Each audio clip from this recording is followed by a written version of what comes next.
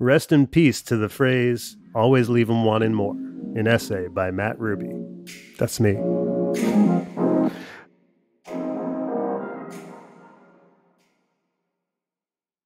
Rest in peace to the phrase, always leave 'em wanting more. Now, it's hold on to 'em for as long as you can. And man, it sucks. Here's the great thing about watching the World Cup the matches only take 90 minutes. I mean, okay, there's a little extra time to make up for all that flopping, plus, you know, a quick halftime, but otherwise, the clock's ticking. It's so unlike American sports. You know, there are no commercial breaks, timeouts, or halftime concerts turning the whole thing into a three plus hour slog. And man, it's damn refreshing to watch something that leaves some content on the bone. Meanwhile, I just saw an ad for the new Shaq doc on HBO and I rolled hard when it told me to get ready for episodes. Episodes? Plural? Of Shaq? Look, dude was a great player, no doubt, but I don't need a deep dive on Kazam or insight into how he managed to rap. From high school to college, you gain enough knowledge. Uh, I get it. I blame that OJ doc, which was genuinely great and deserved its lengthy runtime. That set the stage for the Jordan doc, which aired during the height of lockdown, so we ate up all 10 parts of it no problem. But come on, do we really need a whole episode on Rodman's clown show? And after that, it was open season for doc inflation. I mean, that Jeter one? Seven episodes? It should have been half as long, tops. And sorry, Shaq, but 90 minutes is more than enough to tell your tall tale. It's not just sports docs either. Every media outlet is all about creating content that maximizes mindshare now. Curious about that NXIVM cult or those wild, wild country kooks? Well, you better get ready to be in the cult of watching 34 hours of people wearing those weird little rectangle glasses and talking about their journey or whatever. Everything's stretched to its breaking point now, droning on and on until we're forced to say uncle. I know we live in the attention economy, and the marching orders for all media entities now is to frack our brainstems for as long as possible. But in the process, we've lost sight of the notion of the sweet spot. You know, not too little and not too much, just an appropriate amount. Take the latest Beatles reissue Revolver, Super Deluxe. Look, I'm a huge Beatles fan, but that doesn't mean I'm some scavenger desperate for whatever crumbs were left on the Abbey Road studio floor. I don't need to hear every single unearthed demo, false start, mono mix, and Ringo fart. Yet here we are with five takes of Yellow Submarine, even though they already decided long ago on the best version to release. And also, I don't even need one take of Yellow Submarine. That was the good thing about shelf space. People had to decide what was worth including. Actual inventory required making trade offs. But now that everything's digital, there are no boundaries. There's no bartender cutting us off, so we all just keep getting digitally hammered. We infinite scroll and B-side ourselves into media gluttony, oversaturating our minds with mediocrity. This kitchen sink mentality is spreading beyond the digital realm, too. More and more, we're seeing a good on the poster, sucks in real life approach to live events. Do whatever it takes to sell tickets. That's the mission. The actual quality of the experience on the back end, be damned. Recently, there was a food fest in New York City called EatsCon. It was uh, at Forest Hill Stadium, and you know they had hundreds of food vendors there. And then at the end of the poster, after listing them all, it says, "And so much more." How much more do you need? I mean, I get a gathering with a few food trucks, but hundreds of food vendors. Look, I only have one stomach. I'm going to eat lunch once and then be done. And then what happens? No one needs this much optionality. They should have called it the Your Eyes Are Bigger Than Your Stomach Fest. Likewise, Comedy Central did this big festival of comedians called Clusterfest a while back that listed dozens upon dozens of different comedians all performing in one weekend. And I get it, that sounds extra fun, but in truth, it's actually extra lame. No one wants to sit through hours upon hours of back to back comedians. Comedy requires paying close attention, and that's only doable for so long. There's a reason comedy shows never last longer than two hours. It's bad for the performers and bad for the crowd. But hey, it's good for the Flyers, so what the hell? And this throw it all against the wall approach, obviously it goes for Music Fest now too. I mean, have you ever looked at a Coachella poster? It's like a Spotify algorithm come to life. But who the hell wants to see all of those acts? More ain't always more. I'll take one great band I want to see in a venue that's made for listening to music over an avalanche of ordinariness in a field of porta potties any day. I mean, how many Woodstock docs do we need to see before we realize these gatherings aren't actually for music lovers? They're for mooks who wind up covered in mud, enduring bad trips, and paying $12 for a bottle of water. But you know, you gotta do it for the gram or whatever. Even high end scenesters fall for it too. A bunch of them go to Art Basel in Miami every year, attempting, in theory, to see art from 282 galleries, and then hundreds more at the satellite shows. I've been before, and one thing I learned from going is how little I enjoy wandering a convention center filled with millions of pieces of art for over five hours. It's overwhelming and the antithesis to actually appreciating art.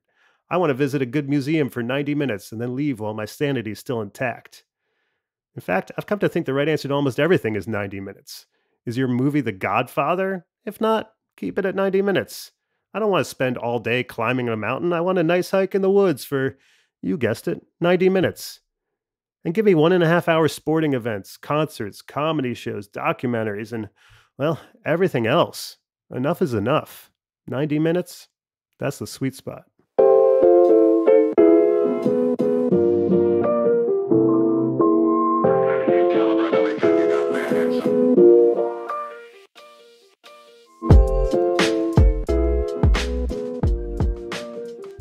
So that essay originally appeared in my Rubesletter, my weekly newsletter that you can sign up for at mattrubycomedy.com slash subscribe. And now I'd like to bring in the producer of this podcast, Jeremiah McVeigh, to discuss what I wrote.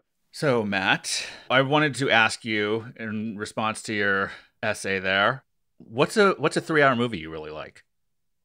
Hmm other than The Godfather. I guess uh, Paul Thomas Anderson, There Will Be Blood, wasn't that like three hours or, or close to it, two and a half? I think it was. I think it was like two and a half to three hours, something like that. Yeah, so I think that counts.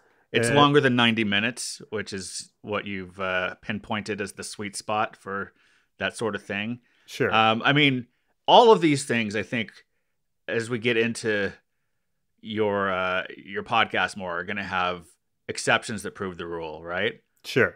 Yeah, I like I like to kind of take a, a, a stark uh, take and draw a line on something with the assumption that the audience is intelligent enough to know that there's always you know exceptions to to things like this. And uh, you know going to be times where i'm not uh, religious about it but just in general I, I see the trend in society towards trying to like extend and stretch everything as long as possible until we finally give up and that makes me miss editing because i just feel like uh, when I was learning how to create art, you know, that was something that was so valuable to me to kill your darlings, to chop out everything that doesn't belong. Like, you know, I, this idea that like someone would repackage a Hemingway novel and put in like the 30 bonus pages that Hemingway took out of there would be yeah. like a nightmare to me because that's the whole reason it's good is because he chopped out every word that doesn't matter and same thing with like the beatles is like a great example to me because like those albums are like incredible in part because they are 35 minutes and in and out and this idea that we need to hear every single like extra you know bit that got left on the cutting room floor is is just annoying to me. I mean I, like uh I feel like uh, imagine if if you got a, a nude from a girlfriend and then you're like, oh, this is amazing, and then she just starts sending you all the the bad shots of you know where the lighting's wrong and she's got a double chin and here are her warts and here's the group chat where she was talking with her friends about it, and just be like, yeah, I wish you had just sent the one pic and been done with it. That that would have been a better scenario for me. Right. So I think you would appreciate this then. And I, am probably going to talk about movies a lot because that's kind of like my background, you know. But sure. Um, I don't know if you remember when Blood Simple, the Coen Brothers movie, was re-released in uh, it was either the very late '90s or the very early 2000s. It was when I was in college, and it was a director's cut of of their first movie, Blood Simple, like I said, and it was actually shorter than the original theatrical release. I love it. I love the it. rare the rare instance I think where a director's cut shortened the film. They were just like I I, I took that as there were more mature filmmakers looked at the movie, were embarrassed by something, took it out. Um, so that's something that goes in line with what you're talking about. But trying to find another exception to prove the rule. Has there ever been a director's cut of a movie or um, an album with with outtakes or or bonus material or anything that you have actually thought imp- improved the work or brought insight to the work that you really appreciated, reframed I, it somehow. No, I think that's a good a good point because I do think if you're like an expert, if you're a songwriter, it can be really interesting to hear a John Lennon demo. If if you're, you know, uh, an obsessive like Velvet Underground fan, it can be cool to go back and hear these versions, you know, at different tempos. And uh, I think that's even, you know, I remember the, the Beatles anthology, you know, the first go round when they were releasing a bunch of extra stuff and being fascinated. I was in a band at the time and writing songs and being fascinated by how they would try every song at like six different tempos because in my head you just know the one right tempo of the song and you just assume it it came pouring out of them in that format but in actuality you hear them you know trying you know obla di obla da really slow or really sped up and like realizing like oh yeah even the beatles had to like kind of experiment and, and take a swing in all different kinds of ways to figure out um, what's what's the right angle to go for. And so i do think if you're an obsessive if you're like a collector if you're uh, an artist pursuing uh, that particular craft, there can be valuable things in there. I think where I bristle is that's not how these things are presented. They're presented for mass consumption. They're presented, you know, for a mainstream audience, and it, in my mind, it just winds up diluting the entire canon. I'm sticking with the music stuff of you know like just kind of going in and listening to this album the way it was intended to be listened to, and instead shows you you know all this. Uh, uh, I don't know, just uh, extra crap that you know, like people left out for a reason. Um, and and to me, it's like an unpleasant listening experience. I love to put out an album and kind of lose myself in it. And to me, this is the opposite. This is like a homework assignment from a, a teacher trying to to educate you about this act. Um, so I, I think um, you know what? There was a Bob Marley box set that came out years ago, and Crosby, Stills, and Nash had a box set, and I remember they gave me those were two artists that I was like fine about, but I wouldn't have called myself like a super fan. And I remember going through the, those and like really gaining a new appreciation. Um, but again, that was maybe you know like a couple like acoustic demos thrown in the mix or something, but overwhelmingly just the actual output that the artist approved of and wanted to put out in the world. So I guess maybe that's what I would advocate for is a formula that's more like that as opposed to this just pile on of detritus that is, you know, inferior to what the original product was. Right. Well, I think that's a good place to leave it. How about you? Sure.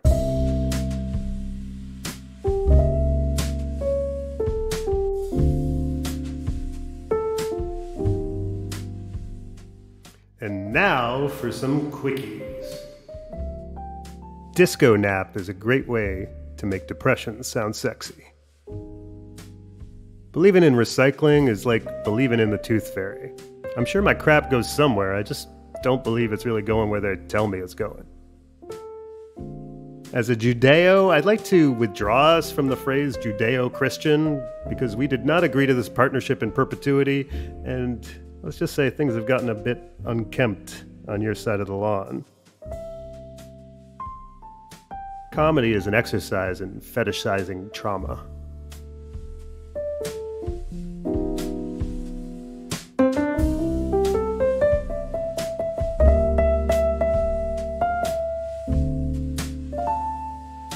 You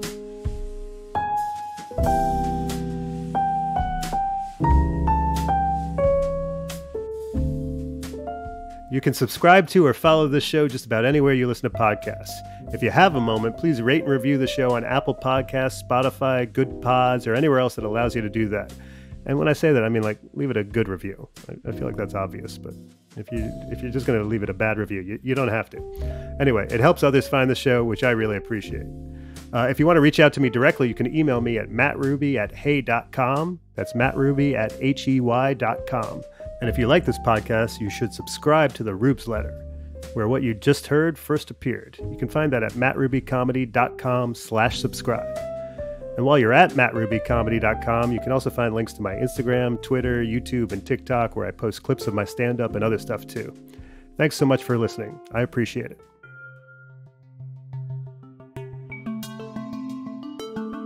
This podcast is produced by Stereoactive Media.